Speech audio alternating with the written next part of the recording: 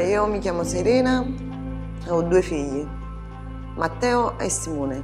Un carattere, mio figlio, diciamo, ribelle, però una cosa del genere, devo dire la verità, c'è proprio una pioggia fredda.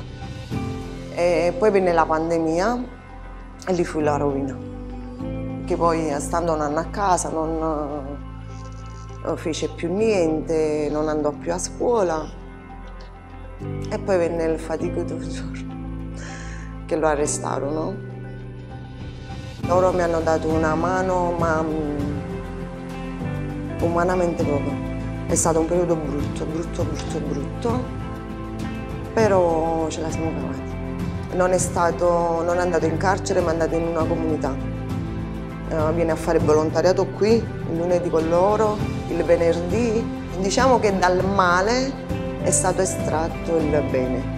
Lui ha capito l'errore che ha fatto, loro sono stati proprio, cioè proprio assiduamente diciamo, a parlare con lui, a fare colloqui, telefonate, messaggi, cioè proprio per fargli sentire la loro vicinanza, che loro c'erano.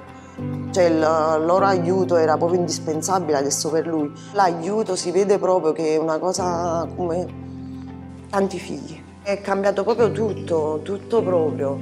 Invece mo ci sta proprio l'unione, diciamo proprio l'unione della famiglia.